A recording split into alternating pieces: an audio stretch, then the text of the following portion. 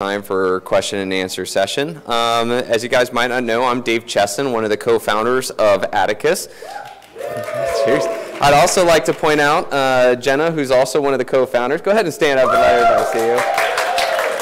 She has been one of the stars of our team. Uh, she does an incredible job working with our support team as well as our programmers to make sure that anything you guys have to say gets translated over so that we can get some really cool stuff out to you.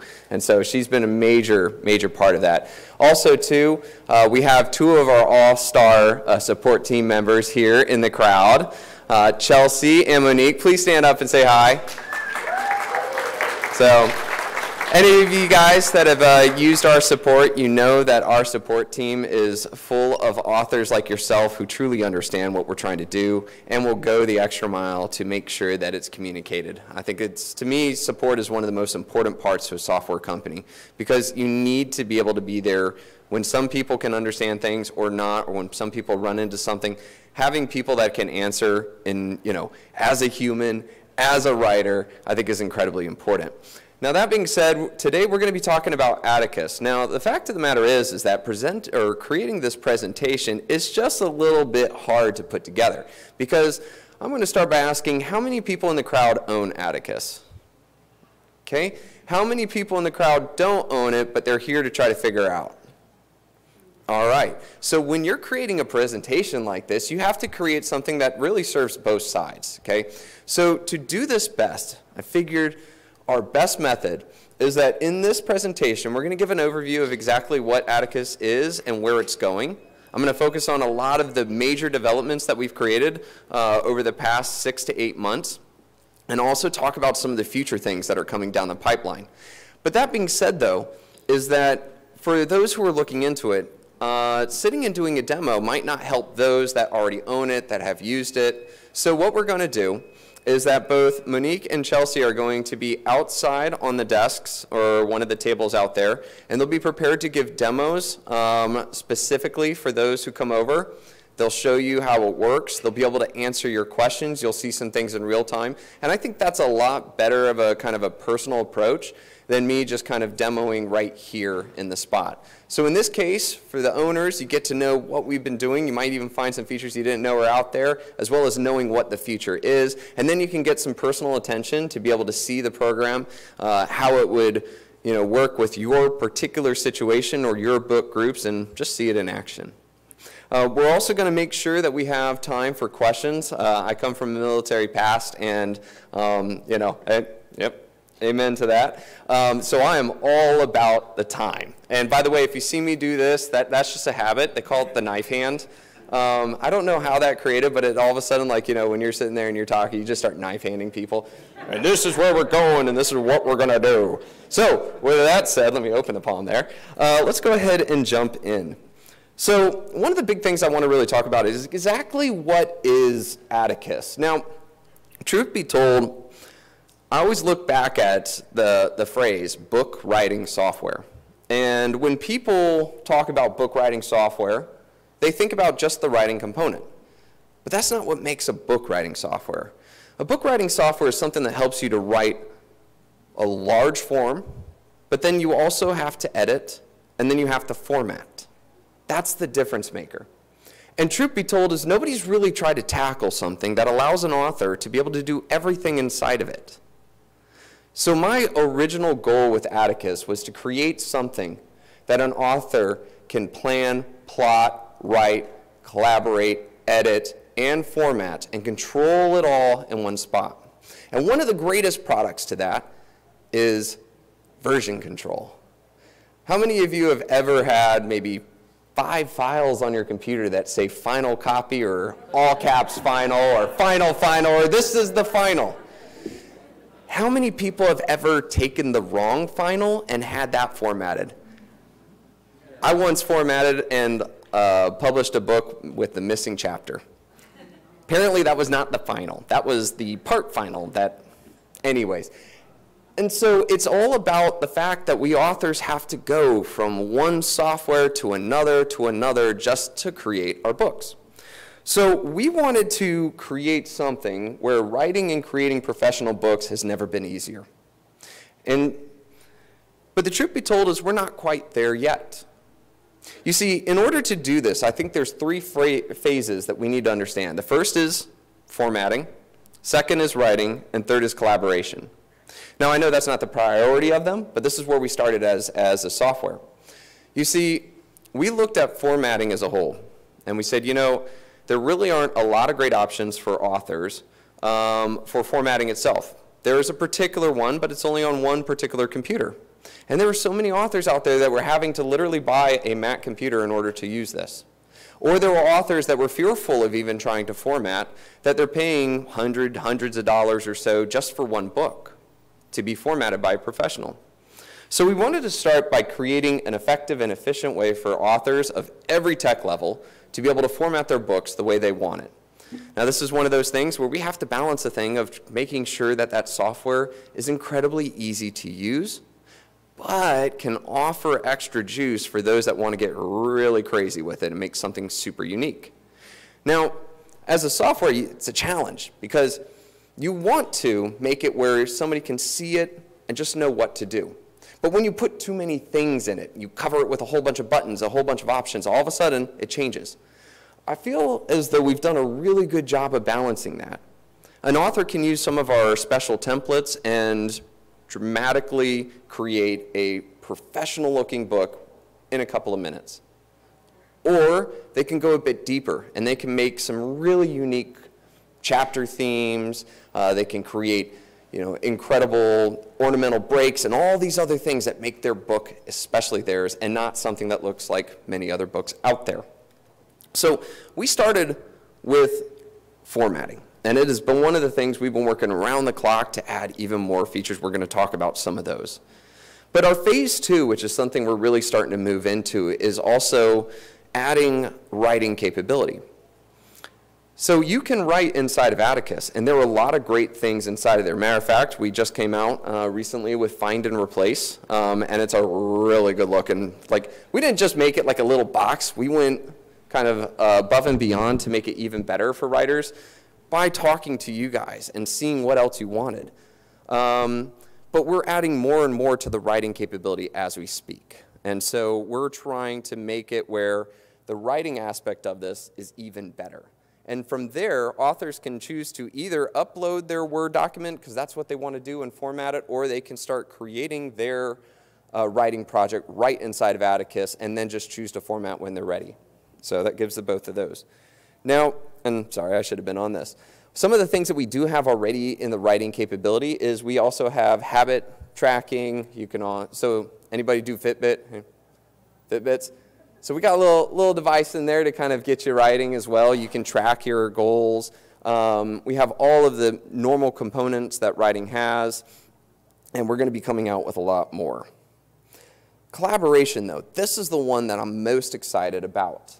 This is the thing that I really think will change the way we authors write. And I know that sounds like a platitude, and I really don't like saying that, but when you hear me out on what this is going to be, I think that this is going to, I think you might agree with that. Now, the way that it works is that when we come out with collaboration, and by the way, it's not out yet, but we built this with that in mind. It's kind of like when you're building a house, right? You start off with a foundation. The foundation has to be there to support, say, the three story building you're making. So we built the foundation. Now we're stacking the floors as we go. So it's been designed and thought through with this in mind.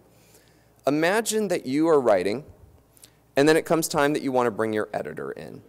You can click to collaborate with your editor, and the editor can do all the things. And by the way, we're going to design it so to the editor it feels like Word because you know that's that's key to most editors. We're going to be working with editors to take in their input as well so as to make it even better for them. Um, I'm sure there are things they've all wanted. Now, as they edit, you'll be able to see that inside of your Atticus. What that means is there's no more emailing back and forth, back and forth with different copies and different file formats that say final, final copy. And what's even more incredible about this is that you can see exactly who has access to your book. So I want to look over at this right-hand side here, and there's four areas that we're going to be doing collaboration with. The first is the co-author, the second is the editors, third is formatters, and fourth is beta readers. Each one of those is going to have a separate capability. Uh, the only collaboration that needs both parties to own Atticus is co-writers and a formatter. So imagine this, you can now write together on the books, and there's going to be a lot of permissions that are out there that allow you to either lock chapters or control who can do what at what time. Uh, formatters, you know, if you just want to bring in some specialist just to format your book inside of Atticus and take care of everything for you, not a problem. Um, but those two need to also own Atticus as well. But with editors and with beta readers, what I love most about this is that they won't need to own it. They can open it up in a browser. They'll be able to work on it. Uh, they can store all the other books that they're working on as well. And they're going to have capabilities that you can give based off of filters and what you put in there. But the final thing to this, and this is one of the things that I've always personally wanted as an author, is that you can control who has access to this at all times. And what's even more so is that the editors, the beta readers, they can't download it. They can't take it off. They can't, so there's no copies of your book floating around out there. This will help with ebook piracy or just the chance of books getting out. And then what I love most is if you see on the right-hand side, you'll see the name of everybody you've given permission to. And when they're done, you can click that little X button and they no longer have access to it. So imagine this, is that you're writing and then you start to bring in your team, your beta readers, your editors, your formatter. You bring them in and then you can control what they do and you can remove them from the project when they're done and at the same time keeps your book even more safe. So these three phases are the things that I want to really make sure we all understand. We have hit phase one, formatting. We're in the middle of writing, and we're really working hard on collaboration.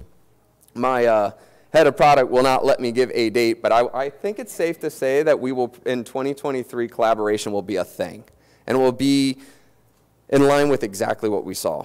And one last thing that I want to say to everybody here too is that as we come out with these new features, and as anybody who's ever worked with me on Publisher Rocket or has been a part of Atticus from the beginning, they're free upgrades. Like, you get that. There's none of this whole, hey, we made the program better, so now you have to uh, pay us again to, to get this. So being a part of Atticus already, all those that raise your hand, you will see this in the future, and it will be our gift to you guys. So we appreciate all those who have been with us from the beginning. So let's talk about this. I mean, this is a crazy project. Um, you know, I mean, it seems like a great idea, right? Why hasn't somebody done it? It is a crazy project. Um, but it's been absolutely incredible. We have a phenomenal team that I'll kind of go over. Uh, we have seven full-time programmers that are working around the clock. And because of that, we've been able to add 51 new features and capabilities since November 2021. And we're not slowing down on that. This is what gives us that ability to continue to push, to continue to add. And like I said with Rocket, uh, I've had that for seven years, and every couple of months or so, I'm always trying to find a way to make it better and better. The same thing goes with Atticus, and that starts with a dedicated team of specialists working on it.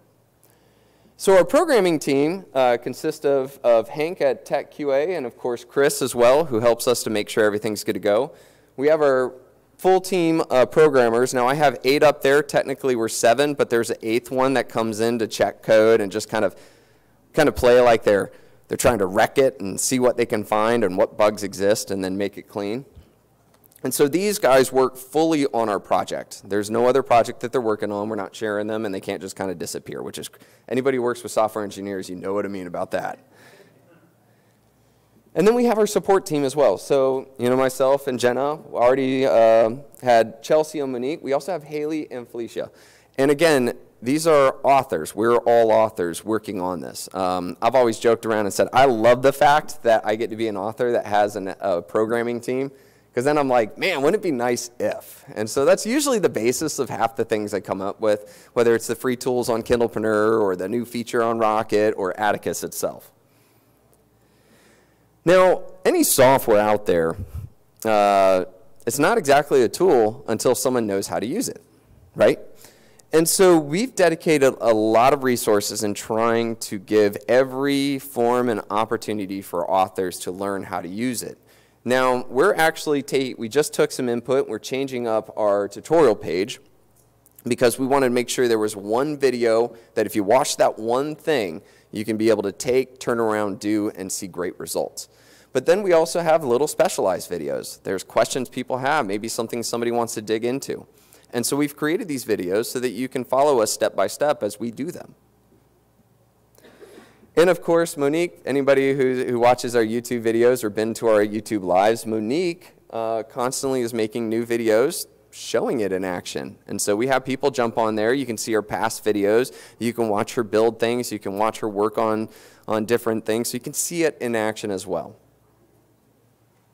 And for any of, the, any of you guys interested in that, I've got a QR code up here that you can either kind of uh, jump on our YouTube so that you can subscribe and see when our latest video is out. Usually when we come out with a new feature, we'll also create a video there that can be a little update, if you will, letting you know that this new thing exists. I'll give a pause for effect. By the way, while we're doing that, you know what? I, I'm, I'm sometimes a kid at heart because every time I, I walk up and I see that sign on that mic, it says the mic is hot, I'm like, yeah, it is. Anyways, so that's right. That mic, so hot right now. Zoolander fans? Anybody? Yeah, there it is. All right. So let's talk about some of those latest features that we came out with. Now, I know that, you know, we're coming out, we're doing at least updates twice a week or so is probably a general way to put it, right? About two a week, um, and that's always finding new ways. The really cool part about how we design the software is we're able to make uh, adjustments and tweaks. They call it agile. Um, we get to do that like, like instantaneous. And what's really cool is it just, it installs itself when you open it. So there's none of this having to delete the software and update and, oh no, you have to sit and wait for a package to you know, download and then double click. It actually is just a really neat system where it's all up there and it's ready to come down the moment you open it up. So a lot of times when you open it up, you see maybe a little circle circle that's quick. That's usually us just adding more. So, so one of the great things that, that we worked on, thanks to a lot of input, was making sure that we integrated with Grammarly and Pro Writing Aid. Um, and so you can use both these programs. Uh, you can use the free version uh, as well, but if you have the paid version, you can benefit from that too. We have a tutorial showing you exactly how to do that, so if you go to our tutorial page, you can find videos that show you how to access that. Um, we also partnered with BookBrush, and with our uh, full page bleed capability as well as creating special chapter themes, uh, you can even make it that each chapter is different. I've seen some really cool designs, and this is something I want to show is like create a gallery in the future where people can get ideas. But I've seen one where a plant started from a seed, and each chapter grew, and by the end of it, it was a full bloom rose. Um, you know, I've seen ones where airplane was flying across the page with each chapter, and you know, kind of like an animation to that effect. Um, but here's the thing, though coming up with those pictures, that's kind of hard, right? I mean, it's neat. It's really cool to see that, right? And there's a lot of things that we're working on in the future um, to really address this. Um, I won't say it here yet, but I can't wait until I can tell you guys. Um, but that being said, though, BookBrush is an incredible kind of like Canva for authors. And what you can do is you can use it to create the images that you want. But you know what really stinks about this, though? I call it the problem getting your images to work can be difficult. Because what happens is, is that inside of Atticus, you'll select your trim size for your book, right? So you'll go through this list. By the way, the little color coordination lets you know if that trim size works in either Ingram or in Amazon. So you can select one that you know works for the market that you're going to be printing the book on.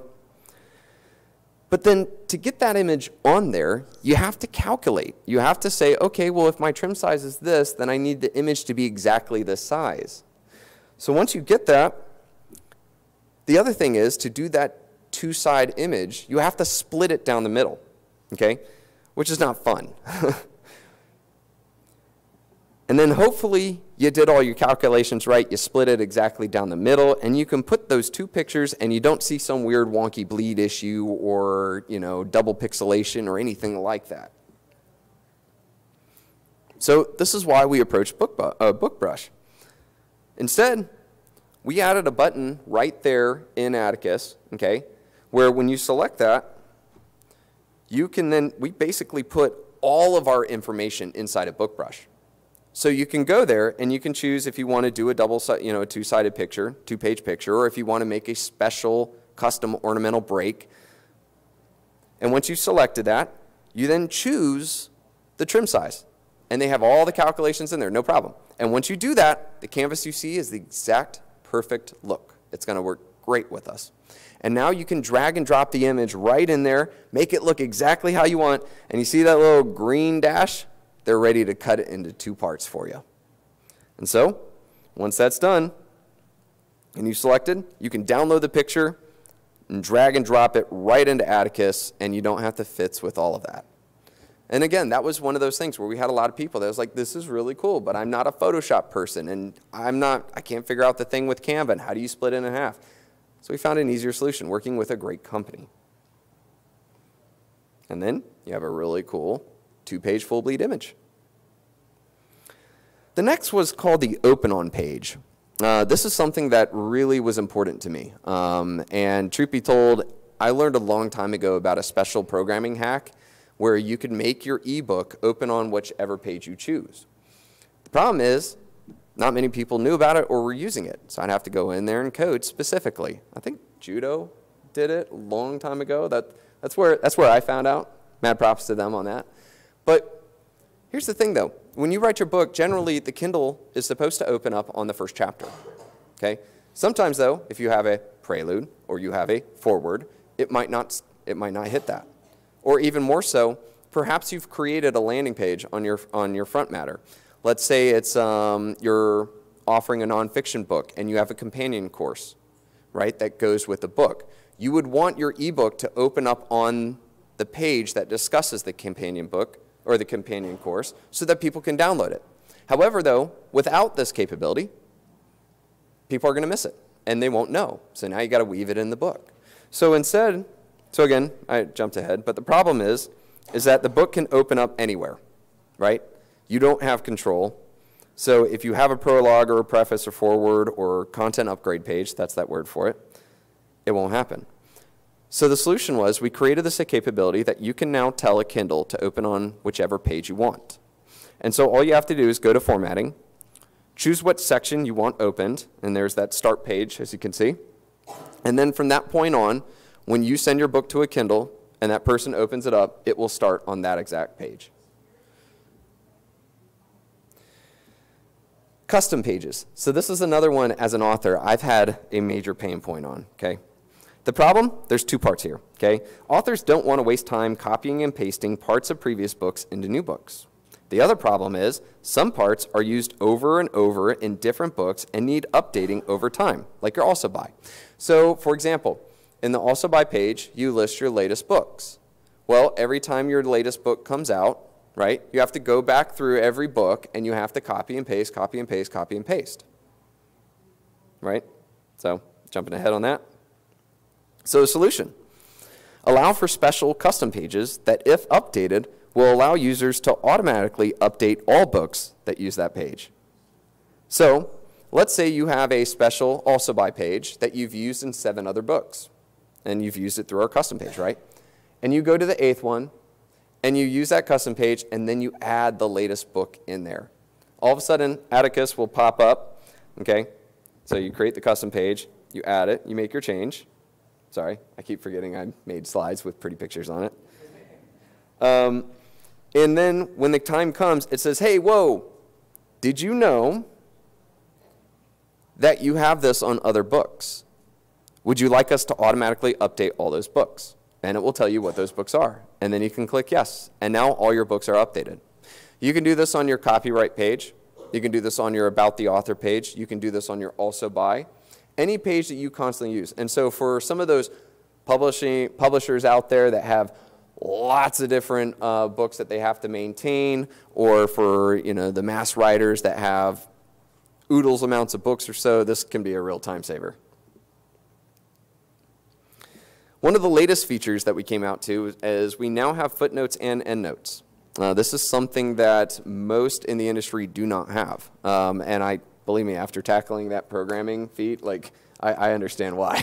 Uh, footnotes are not the easiest thing. And getting it so that um, all the printing presses will accept it uh, is important. Now, that being said, though, that there are no footnotes for most of the ebook readers. Ebook readers can't take it. So you, when you are looking at your Kindle or an ebook, it will offer the end notes, which is putting your notes at the end of a chapter or end of the book, your choice. But on print book, you can choose footnotes or endnotes, whichever you prefer. And so creating these have been, I think the only other option at this point is InDesign for footnotes for printing. Yeah, manual, yeah, exactly. So for all the nonfiction writers or any fiction writers that like to put a little footnote in here, this is, this is a, that was a fun project. Um, compression of files. This is incredibly important because for every one megabyte your EPUB file is, Amazon will take 15 cents in download fees. So the heavier file, the more it's going to cost you. Now, I want to put a special note in there, is that when you export a file from, say, any formatting, that file size is not the file size that Amazon recognizes. You won't know until you upload it to them, okay? Um, and so because there's certain things they cut out uh, that they don't accept, you know, it's like, no, that's fine. You, that might, might be in your file, but we don't acknowledge that when looking at the download cost. So if your EPUB is 2 megabytes large, you will lose 30 cents for every ebook sold. If you sell 2,000 ebooks, that means you lost $600. So the solution? Using special coding from Amazon to create the lowest download cost possible. So Atticus, and this is something I'm going to tell you in a little bit later in here, is working a system that's able to work through Amazon, figure out exactly what kind of download cost this is going to be, and constantly working to tweak the coding so as to make sure that we lower that cost. Because the fact of the matter is, is that if we lower that cost, say, just two cents, for every book. And you sell a thousand books, that's a lot of money that you're selling, that you're saving, just because of two cents. So we have been, and we have a little something special uh, that I'll tell you at the end that's going to allow us to do this really well. Finally, copyright uh, templates has been another thing that just came out. Um, many people have their own template. They have their own copyright, and that is totally cool. Put it in, make it your own custom page, apply it to any book you want. But then again, maybe you're working in public domains. Maybe you've got a different, you know, different thing that you're creating. And by the way, we're coming out with new templates all the time, working with our lawyers to create something really cool and ironclad. You can use it for inspiration, uh, add stuff, take stuff out. Um, but this is going to be one of those ways that we were just able to help you in creating those copyright pages and make sure they're as, as stellar as they can be, or as ironclad as they can be. It's probably a better phrase. Next one, and this is one that's been in the works for a long time, and I'm very excited about, is universal links. Uh, how many people were in our universal links, uh, universal book links discussion? Okay, so you know that this, you know what this means. So the problem is, markets like Amazon do not allow links to other stores in their books, but sometimes readers want books from their preferred store. And that also goes with the other stores. iTunes doesn't like Amazon links. Barnes & Noble doesn't like iTunes links. They just don't like it. Um, go figure. The other issue, too, is that most formatting software makes you create one file for each book market. So you export your book for Amazon because you have your Amazon links in there to your other books. Then you go change all your links again and for your Barnes & Noble links, and then you export that one, and then you, and notice that that's, you got all these different files that you now have to control and get onto the right market. And if you make the mistake and you put the wrong one on the wrong market, you're going to get flagged and that's going to really hurt your launch. So that stinks, right? So instead, we created a solution. Uh, easily, easily create one link that will allow readers to buy your book from whichever store or location they want instantly. Now, to create that, that would have been a huge lift, and that would have stopped us from being able to add like the you know footnotes and the endnotes. So instead, we partnered with um, with Genius Links right here, Jesse. And Jesse's all like, "I'm, I'm going to get a video of this." That's that's right. And in this case, right inside of Atticus, you can highlight whatever it is you want, and you have three choices. Okay you have the, you, you can choose a uh, internal link, so you want to link to a different page, have somebody jump. You can put an external link, something that jumps out to another website, or you can choose a book linker. Okay, we actually have a different term on this one, but it just came out yesterday. And all you have to do is put in one link to your book on any on those markets, okay? And the, the markets so far include Amazon, Barnes & Noble, and iTunes, and pretty soon we'll have Kobo and Google as well. So just find your book on just one, doesn't need to be all. Put that link in there, and it will automatically generate, okay? It will automatically generate a special page for you that shows your cover, and it will find everywhere your book is sold on those markets. And now, when your customer clicks on that link in your book, it will open up this page and they can choose whichever market they want to buy from. Also, it will make sure that it is in the right location. So if the person's in Germany and they click on your Amazon book, that will make sure that you end up in the German market of Amazon and seeing the book exactly there. This is really important because of a couple things. One, you do not need to now publish all these different versions using all the different links. On top of that, too, is that they have some incredible analytics. So you can go in, if you've set up a free account, you can go look and see what the click rate is. And you could also look at who is uh, looking at this and kind of detail and understand your readers and what it is they want better. And this is all just done for you. And finally, this also gives you one spot shot. So you do not have to build this site. You do not have to create these images. All right, so those are some of the things that we've come out with. Here's the coming soon. Page balancing versus widows and orphans. So an interesting thing about formatting is, is that you have two different types of people. There's the people who truly believe in widows and orphans, and those who believe in page balancing. I mean, it's like west side, east side here, you know? Um, and, and quite frankly, from programs in the past, all formatting has just been like, we do the one thing. That's it, right? Well, so we started with widows and orphans. That being said, though, is our team has been working crazy amount of hours trying to, trying to build this capability where you can say, you know what? I want it to focus on page balancing, not widows and orphans. Or I want it to focus on widows and orphans and not page balancing. But then we thought, why not make both? Why not make one that actually does both? And so this is something we haven't, we got to come out with some like fun name. Matter of fact, anybody who comes up with a cool name for this, I'm going to give you like the, the uh, digital cookie and t-shirt as well. But we want to call it like the, I don't know, the Atticus balancing or something like that. And what it does is it works to make sure that widows and orphans are addressed and page balancing is always taken in consideration. And so you as the author can truly control what it is. If you have one preference, it's yours. Or if you want to kind of have the best of both worlds, click, voila. And of course, I forgot my problems. Okay, and big news Amazon partnership.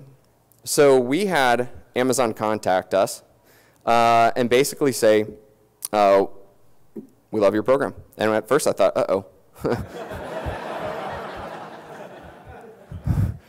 okay, uh, what does that mean? Um, here's the thing Amazon's getting to a point where they don't want to touch Kindle Create. Uh, it was something that they created years ago, and it was their way of just trying to bring in new books.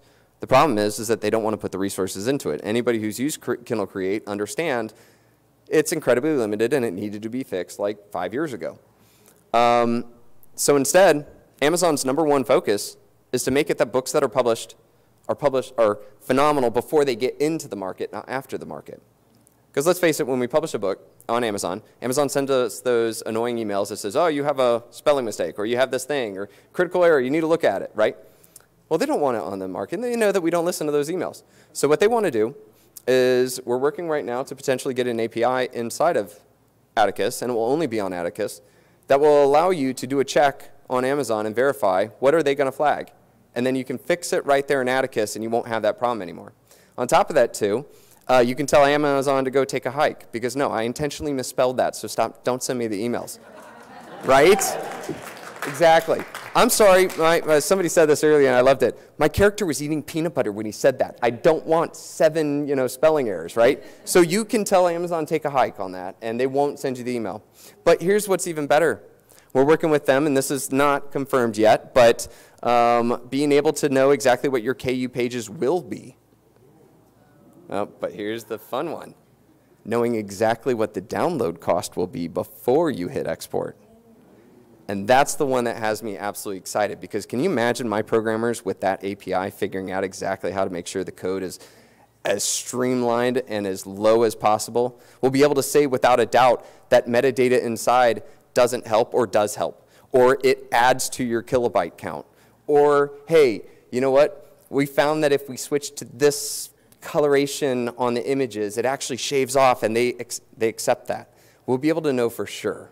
And we'll be the only ones. So my team will work around the clock to make sure that that file size is as small as it possibly can be. And again, I forgot the thing. I got excited about it. All right. Now with that, that leads us to our questions. And like I said, we're going to have our team. Uh, they're going to be right outside on those little desks. They'll have their computer out, being able to show you or answer any particular questions if you want to see something in action, they can take care of that, or they can just give you a full demo so you can see it and see for yourself. Otherwise, if that's not the case and you need to run to something, you can always go to atticus.io forward slash tutorials and see our tutorials in action, or just watch one of our YouTube lives like we discussed. And with that, if anybody has any questions, please come up to the hot mic, and uh, we'll go from there.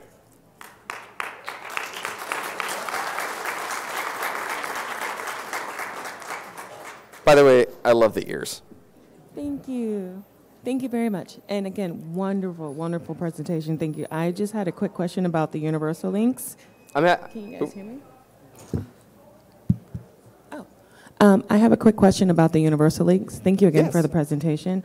Um, I'm not clear as to how, uh, as far as our ISBNs, you said that we can create one link that allows all the, our readers to buy books from wherever they want. Do we still need to make sure that we have our own ISBNs or that we have one with those distributors? Oh, so the way that it will work is that you just find a link to your book on one of those markets. You put it in, and then it will go out and it will find where your book is on those markets and just collects it for you and puts it in one spot. Like, so major time saver. Thank you so much. Uh, thank that guy right there. I mean, I'm jazzed about it. I was like, yeah. When I saw him send that email, I was like, done. We're working with you. So will BookLinker, as the universal uh, linker, also handle affiliate codes? Yes, it will. Yeah, absolutely. And a whole bunch more. Also working with Genius Link, which is uh, Genius Link created BookLinker. You can go even further. So any of those data nerds that like want to like go hardcore in understanding their market, that one-two punch right there is like stellar. Yes, ma'am. I actually have three questions because I'm greedy. Um, one, uh, I like to make edits in Atticus, and then I really want to download a Word file, but then the Word file comes down and it is like a hot mess. Uh, is that something you guys are planning on working on at any point? Yes. So with Word, generally speaking, on the um, when we export, so if you've been working on on it with Atticus, right? Uh, so you've been writing your book, and then you want to export with Word. Generally speaking, the normal, like if there's certain special formatting that's been added, that will probably look a little weird coming out of formatting. But that being said, there's a lot of stuff that we want to clean up. The other thing that we want to also add uh, that we're working on as well is uploading Mobi and EPUB files so that you can throw it up into us. That's another thing that's in the pipeline. We technically can do it, but it's not clean enough that we want to. I see Jenna's. See, I have to look over here because like she's like, Okay, you can say that. yeah, as a last resort. But there's a lot of cleanup that we can do to make that even better. okay, thank you. And then um, when you say find and replace, is there a way to do that in the whole document, or is it still only chapter by chapter? It's whole document now. Yeah, whole document, chapter by chapter, whichever one you choose. All right, and last question. Uh, I cannot possibly be the only person who noticed that if you try to render a PDF in the morning, it goes faster than if you do it at 6 p.m. Is there a reason for that?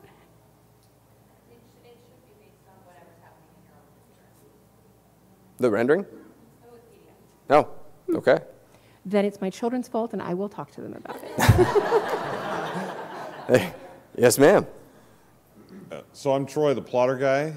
Hey, how's I it gotta going? ask, when's the integration with Plottr gonna? Is there gonna integration Yes. with Plottr gonna happen? When's it happening? So we actually just uploaded a video um, last week or so showing how to use Plottr already. You can actually upload the JSON file that they ex- oop, that they export um, and then parcel it out. But there's a lot more that we can do um, to make it even more, shall we say, congruent with the writing. Uh, this is one of those areas that I personally like. I can't wait to crack my knuckles and like really dig in. Um, but I always find that with plotting, right? We we plot, we use, and there's all these different ways that people choose to plot. But then when it comes time, we have to have like two different windows up. We have the plotting window and then we have the writing window. But there's things that we can do as a writing software to be able to take the information and put it where authors need to see it while they write.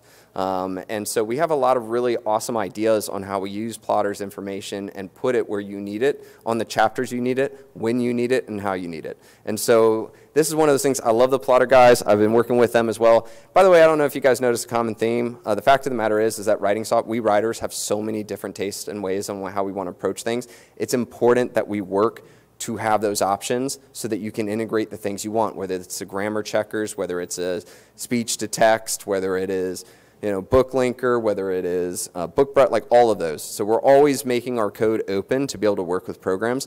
Um, but Plottr's got a little special place in my heart. So we're really trying to make sure that that data gets to the right spot. We should talk about that. I know where I want the stuff.